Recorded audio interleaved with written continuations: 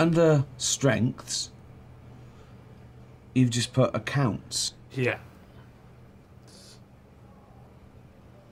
That's your job, though. That's just that's just. Mm. No, Keith.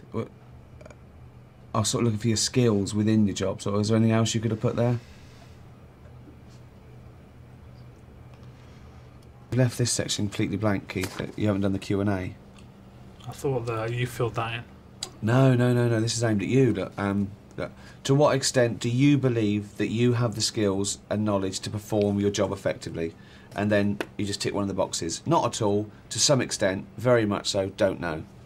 What would you tick? Don't know. Okay. Um, question two. Uh, do you feel you have received adequate training to use your computer effectively?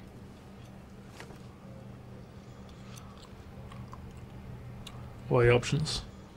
Same as they're always the same. Always the same. Not at all. To some extent. Very much so. Don't know.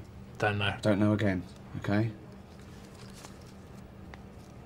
Do you feel you are given the flexibility to decide how best to accomplish your goals?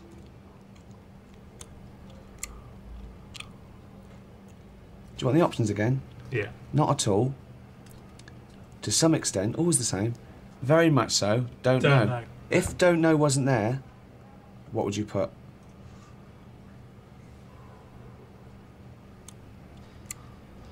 Well, the options. Not at all. To some extent, very much so.